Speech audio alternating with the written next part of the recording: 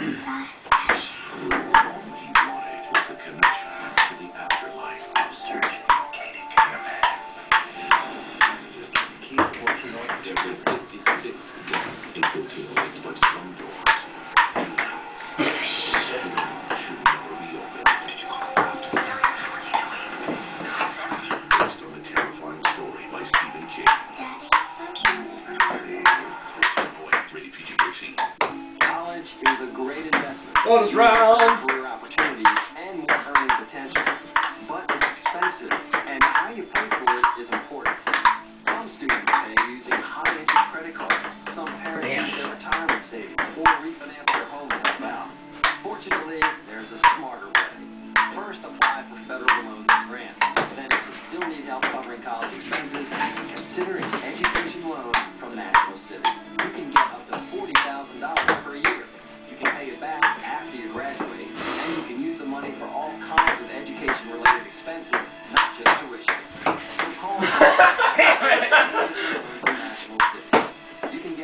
Three thousand dollars per year.